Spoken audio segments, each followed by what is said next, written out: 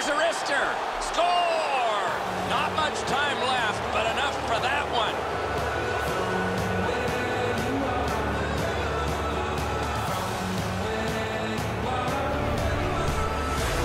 It's not how hard you shoot it, but it's the release that counts, and he snaps it home. Holtby's caught in a little bit of an awkward position here. He's not able to get his hands up to the shot. It hits the crossbar.